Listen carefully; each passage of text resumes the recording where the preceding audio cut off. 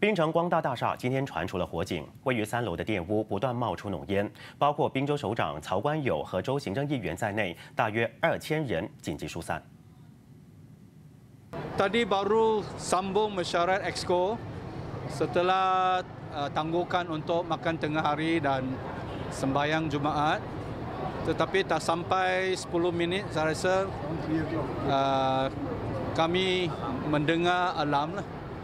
Kita pun tak tak tak tahu apa sebenarnya berlaku dan masih meneruskan mesyuarat.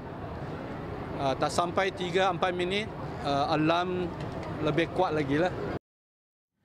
今天下午两点五十分，三楼的电屋开始冒出滚滚白烟。曹官友中断会议之后，和所有人一同通过楼梯从二十八楼的办公室紧急撤离。曹官友透露，消整单位目前还无法找到源头，而当局也加派人手调查噪音。